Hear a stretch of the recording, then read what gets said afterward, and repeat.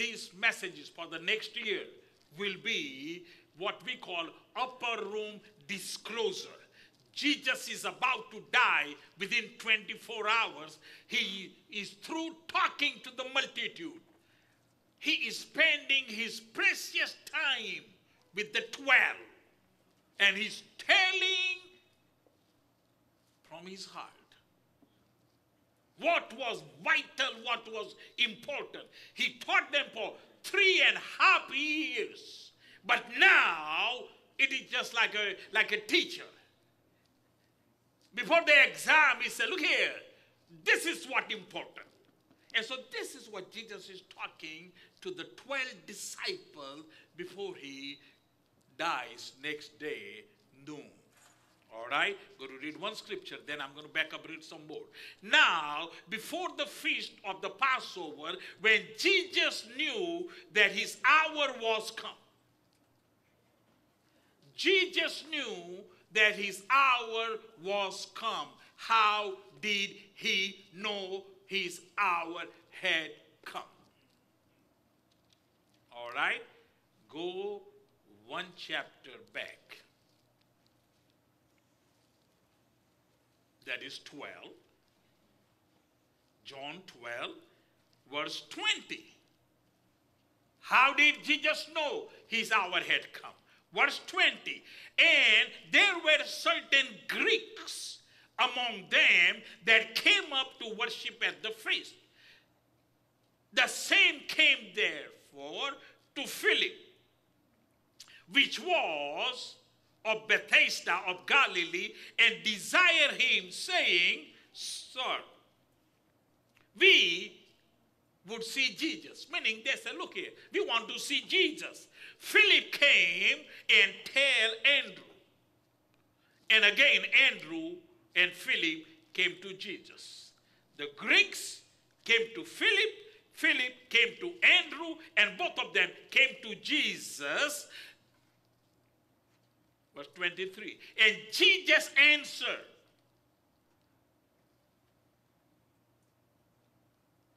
The hour is come that the Son of Man should be glorified. Go ahead and have your seats, please. What triggered this? What triggered this knowing about Jesus? What triggered this?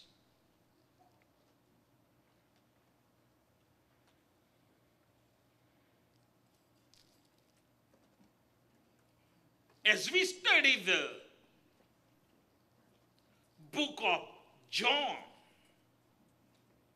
remember in the beginning, John's second chapter, verse 4. John 2, verse 4, when Mary came to Jesus and said, Jesus, they, meaning the wedding party, they have no wine. They ran out. And Jesus looked at her and said, Ma'am, I know the King James translated woman, but he's just like we say respectfully, ma'am. He said, Ma'am, my hour is not here. Wait a minute. So, what happens between John the second chapter and John the 13th chapter? In a second chapter, my hour is not in a 13th chapter, knowing his hour has come. What happened? As you read in John 7:30. See, like I always say, study the word. Don't just read over his hour oh, knowing his time had come. No, no, no, no, no, no. John 7:30, John 7:30, he preached all the guys got upset. They always wanted to kill Jesus. Huh? And Bible say he just walked away. Meaning, because his hour had not yet come. You're looking me like I'm going to connect the dots here in a minute, so just, just hold on. Jesus said, Nobody can kill me. Come on, folks. You have read John 3. Huh? Nobody can kill me. He said, I, my own self, I lay down my life for you. You can't kill me. There was a time when there was a miracle. People got so excited, they wanted to make him a king. And Bible said he just slipped away. One day they got so angry and they wanted to throw him off the cliff. They said, You can't throw me away. I got to lay down my life. You remember in Luke the fourth chapter, Matthew the fourth chapter, the devil takes him over the mount, uh, uh, on the temple and said, Throw yourself down, kill yourself. And Jesus said, What's wrong with this fool? You can kill me. You cannot kill me. You, I must lay down, but I cannot lay down ready. Because you have to go back to Daniel. Daniel, the ninth chapter, when he talks about from this time to the captivity will be 70 years, from that time to this time, and then he said, from this time till Messiah is crucified, it be this time. So he had to die according to the hour and time which God has set. All I got to say is this if Jesus did everything according to the time of God, how come we don't move with the time of God? God said the service starts at 11. Why we walk in at 11.15?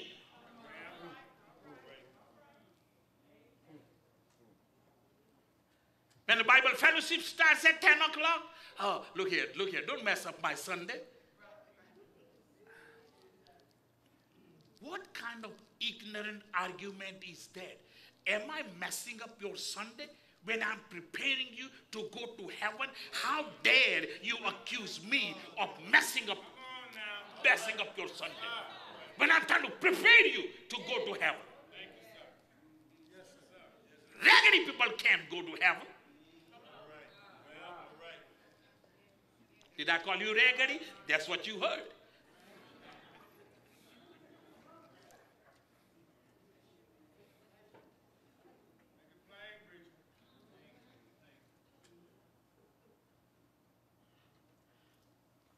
My favorite scripture, what is it? Psalm 31 15. My times are in your hands, O God. Jesus knew his time was in the hands of God. Ma, my time is not here. Sadducees, Pharisees, you can't kill me. Crowd, you cannot make me a king. My time is not here. So, what happened? They triggered this, knowing the hour is here. Wow. John 1 and 12 and 13, 14 says, He came to His own, but His own received Him not. But as many as received Him, to them He gave power to become the children of God. Now watch it. God told to Abraham, It said, In thee all the nations of the world will be blessed. And so the Jews draw a circle and say, boom, be, ah, only the Jews. Outside.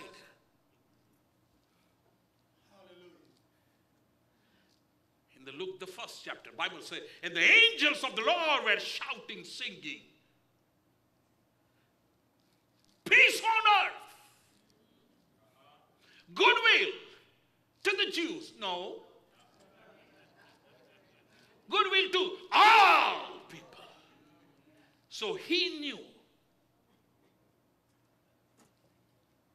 Daniel says he will die for the whole world. John 3:16, for God so loved the whole world. Jesus said, I am going to die. But let me see my time coming closer. He knew, Remember John 1, John 3? He said, Behold the Lamb of God that take away the sin of the world. All right? So here is Passover. And he was going to die as a Passover lamb. You follow what I'm saying? So he's getting closer. He's getting closer. But what happened here? Let's just read. That's all I'm going to teach today. How did he know? All right, go back to 12, John 12, 23. Jesus answered them, saying, The hour is come that the Son of Man should be glorified. Verily, verily, I say unto you, except a corn of wheat fall to the ground and die, it abideth alone, but if it die, it bringeth forth much fruit. He that loveth his life shall lose it, and he that hateth his life in this world shall keep it unto life eternal. If any man serves me, let him follow me. Look here. We have thought that follow me about going to heaven. He ain't talking about that. Follow me, meaning I'm telling you, is you willing to die like I'm about to die? See, that's our problem. We preach the gospel, come to Jesus. And you be out from the ghetto and you be in a mansion.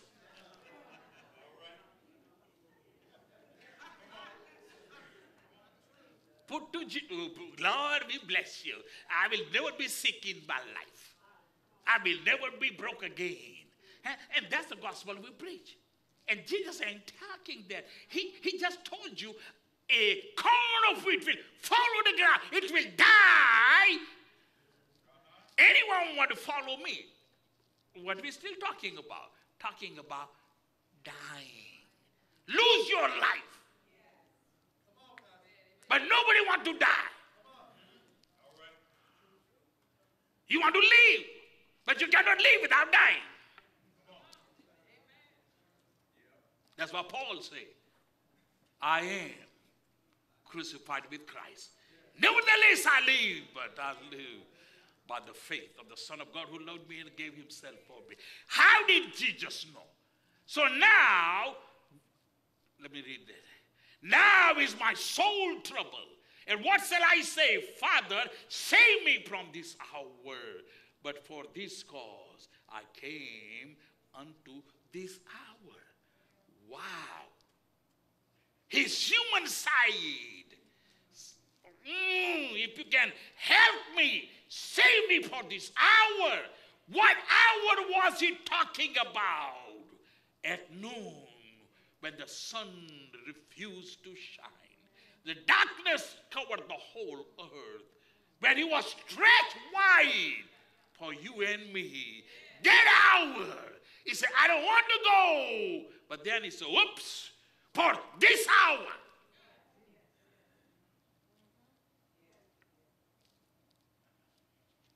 For this hour, I came into this hour. We always say, hey, why did Jesus come? He came to save and to seek.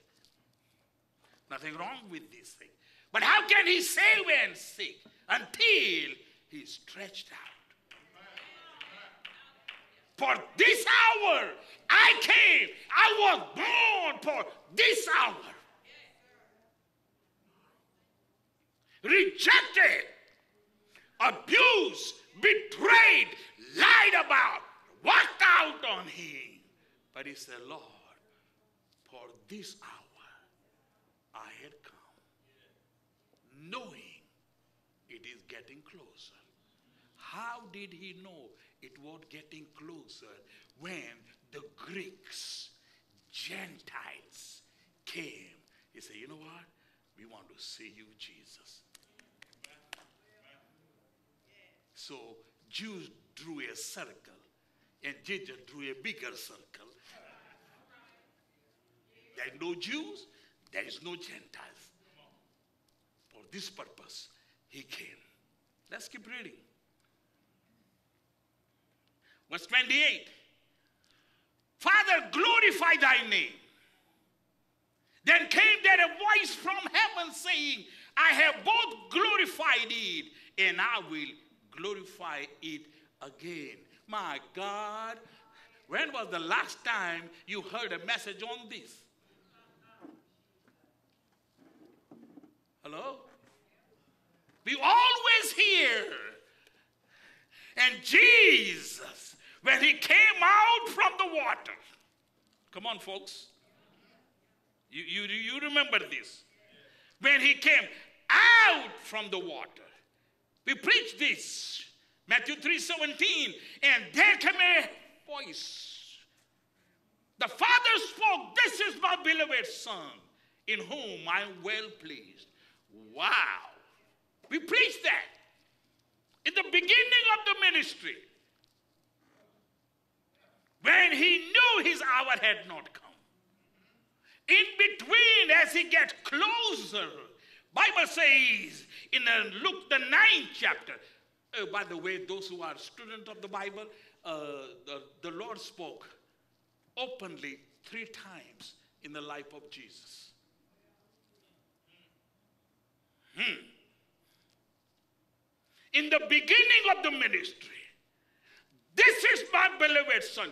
John the Baptist said, And the Lord revealed to me upon whom you will see the Spirit of God descending, sitting upon him. He is the Lamb of God. And he put him in the water. He came out. The Spirit of God descended upon him, sat upon him, and heaven opened up. And the Lord said, This is my beloved Son. This is in the beginning, before the ministry started. The hour is there. He's here miracles. Life goes on. Luke, the ninth chapter. About closer to the hour, but not all the way. He called his disciples. He took John and James and Peter on the Mount of Transfiguration. We are in Luke, the ninth chapter, verse 35. Bible says, and as he prayed, listen to me, Glory didn't come from above. That's our problem. We are preaching in the last days. Glory clouds will come. Hold up. Time out.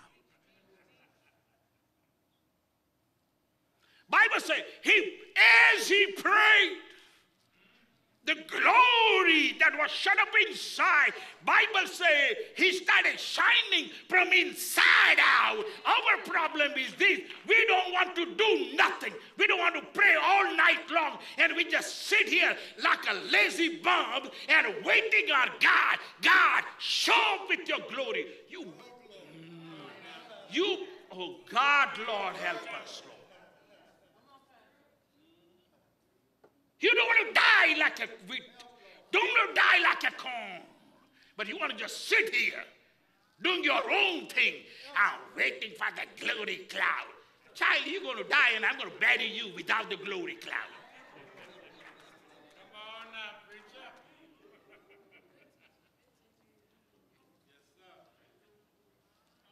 He spoke in the beginning and about closer to the end. This is my beloved son. And then he said, Hear him. Why did he say, Hear him? What was going on? Please study the word. Bible say, and he was shining brighter. There appears Moses, the law, and the prophets, and they were talking.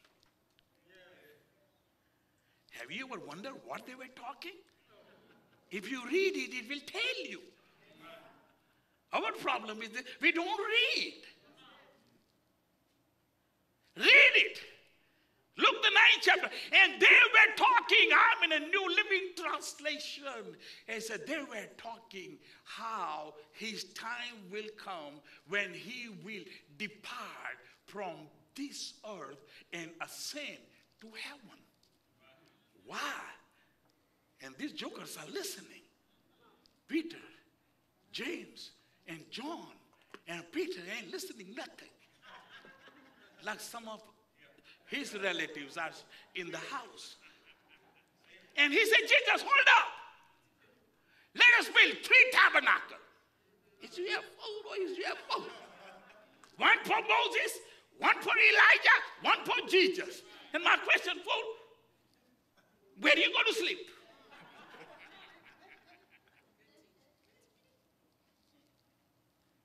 They're listening to the law and prophet about the hour. I'm still on the subject. Jesus knowing the hour has come. They're talking about the hour that cometh when you will die for the sins of the whole world, and then you will be crucified, you will be ascended into heaven. They are hearing it. It's woo, woo, woo, woo. And the father said, Time out. What does Hebrews says? Hebrews 1. In a diverse time, back in the days, God spoke through the law and the prophet. But now, He is speaking through his dear son, and the apostles are not listening. That's why God had to say, Shut your mouth. It's not the law, not the prophet. This is my beloved son. Same one. I am well pleased. Wait a minute. He hasn't done nothing. He hasn't done nothing. And he was well pleased. Now, almost three years later, he said, This is my son. Listen to him. Our problem is this we want to listen to everybody but the Son of the Living.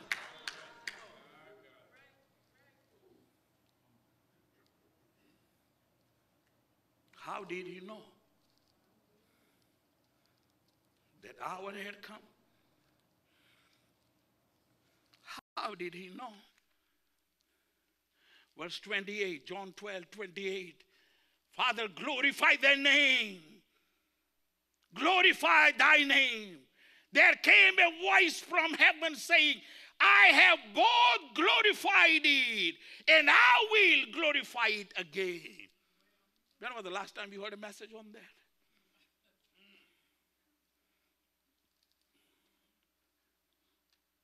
Listen to this. Some of your relatives were there.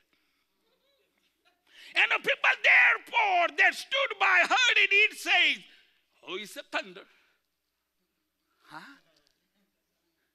When God speaks and with your crazy self, don't even know it is God, and you say it is thunder. You know why? They were so used to lightning and thundering in Exodus. Exodus 19. It's not the thundering. In the last days, Jesus is speaking. Listen to him. And others said, hmm, must be the angel. Huh? And Jesus answered and said, This voice came not because of me, but for your sake. Now listen, he's coming closer. He's telling you about the time, about the hour. Now is the judgment of this world. Now says the prince of the world be cast out. And if I, come on, folks. If I be lifted up from the earth, I will draw all men unto me. He's talking about being lifted up. On the cross, go back to John the third chapter. Jesus said, If I be lifted up as the serpent was lifted up in wilderness, I will draw men unto you. Meaning what? He was talking about the cross. He was talking about the Savior must die. But this joker, they want the crown without the cross.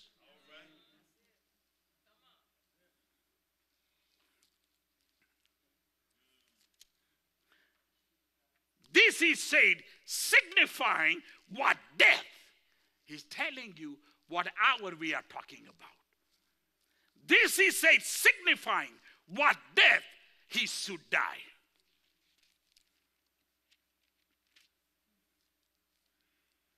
The people answered him, We have heard out of the law that Christ abideth forever. How sayest thou the Son of Man must be lifted up? Who is this Son of Man? See? No matter how much you break it down, they ain't going to get it. You know why? They don't want to. Read the rest of the chapter. All I am saying is he knew the time had come. Why? The Gentiles are seeking him. The Father spoke from heaven. He knew the time has come. So for next nine minutes, I'm going to make some statement to charge your thinking about time.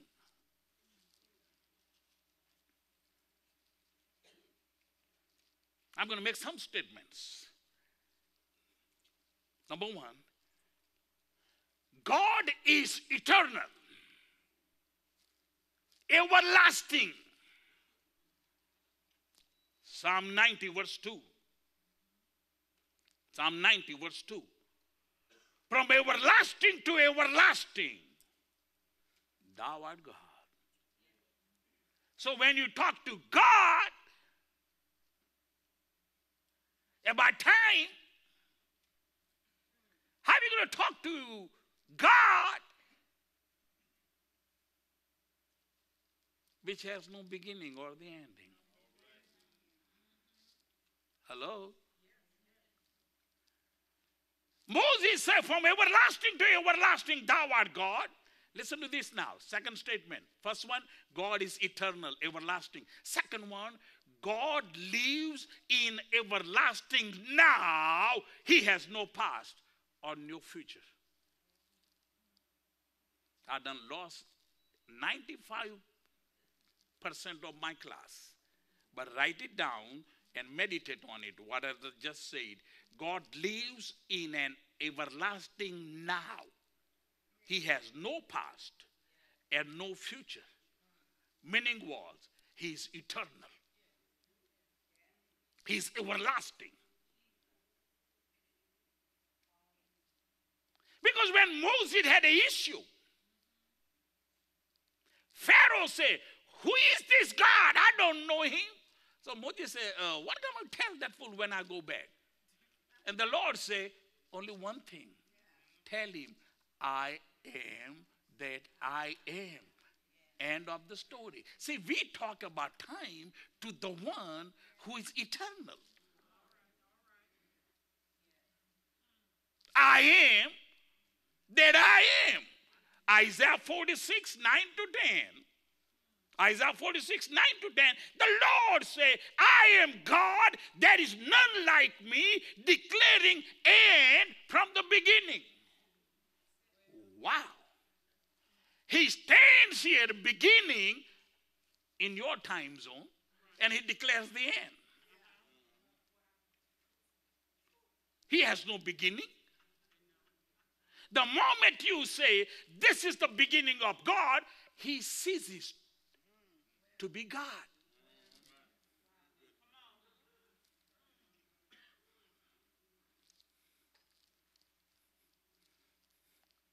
I know this is a brain twister, but that's all right.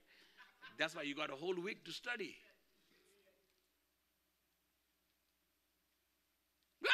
Revelation 1 and 8. What does Jesus say? I am the Alpha and Omega, beginning and the ending. So, and we're talking about time. My uh, rent is due on the 15th.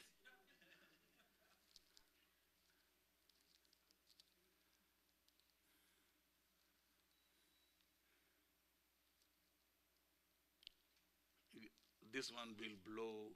Well, let me just say this God dwells in eternity, but time dwells in God.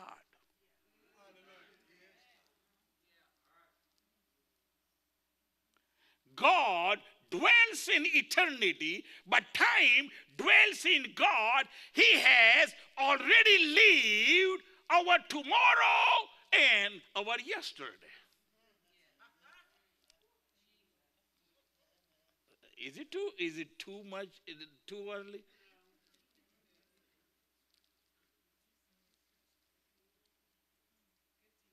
God is eternal. He lives in etern- eternity. He lives in eternal now. He has no past. He has no future. He is God, Alpha, Omega, beginning and ending. God dwells in eternity, but time dwells in Him.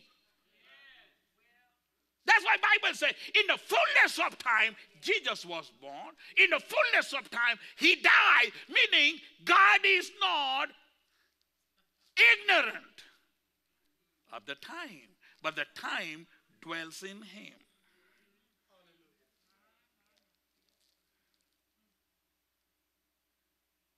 God dwells in eternity, but time dwells in God. He has already lived our tomorrow and He's already lived our yesterdays. Listen to this time began in God, and time will end in God. Remember, Bible says, and I saw New Jerusalem coming down, and time will be no more. Genesis 1 and 1. In the beginning, God created. John 1 and 1. In the beginning was the Word. Which beginning is beginning?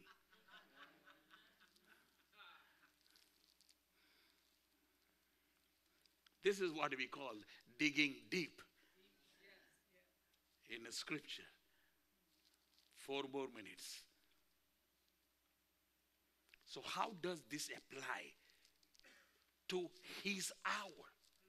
Remember, John 13 1. Knowing his hour has come. How does it apply to the hour? Oh. Remember, Jesus God the Father, God the Son, God the Holy Spirit, they're three in one. If God is eternal, Jesus is eternal. That's the reason Jesus, what did we talk about last week? Humility. Meaning, oh God, please look at here. The one who dwell in eternity saw the man struggling in time with sin, sickness, disease, infirmity. He said, Oops, I got to give up that which is eternal and put on. Humble myself and become a God man eternal, yet bound by time.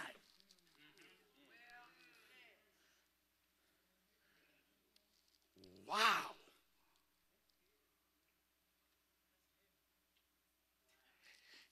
Timeless.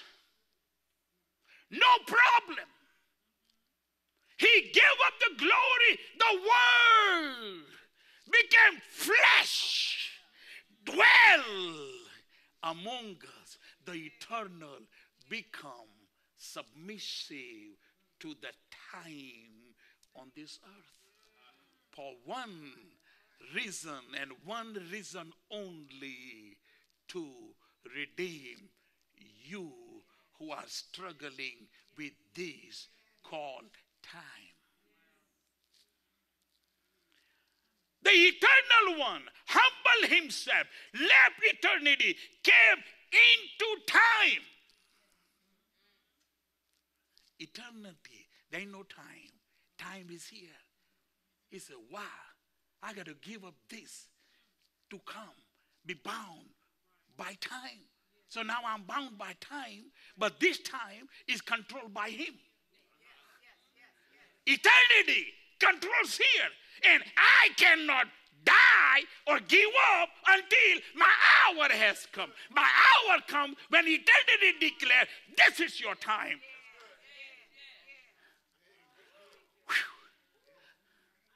It's too much for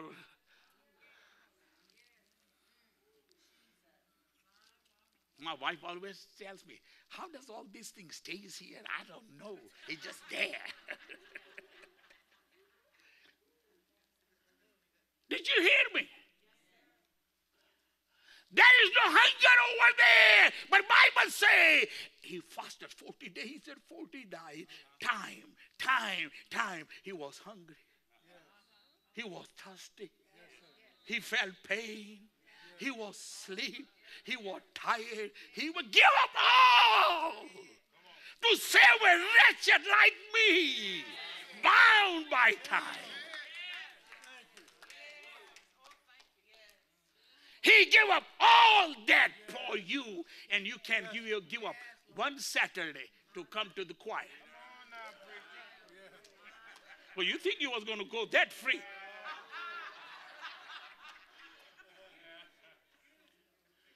He gave up all that, and you can't get up and come to church on time. Or the Bible tells us, you're messing up my time. He gave up eternity, the joy, being with the Father, all these things. Angels bow down and worship him. He came, he listened to me. He gave up there so he can come. I'm going to give up my life so you can worship me. But with your ignorant self, I ain't going to worship him. All he wants is my money. He gave up. Bible say he gave up all, became poor in this time called the time zone for you. So through his poverty, you can gain heaven. But you don't you don't understand. You so wrapped up with this time. You so wrapped up with this earth. You so wrapped up with you. You don't even know the mystery called the hour has come. Wow! In my entire life, 42 some years, I have never heard anybody preach. I said, if I don't, I'll be the best one. the favorite son of the living God.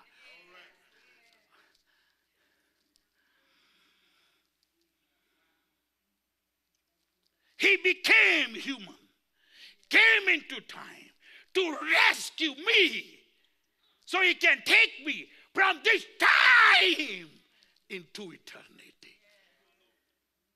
So when I die, time died, eternity just begun.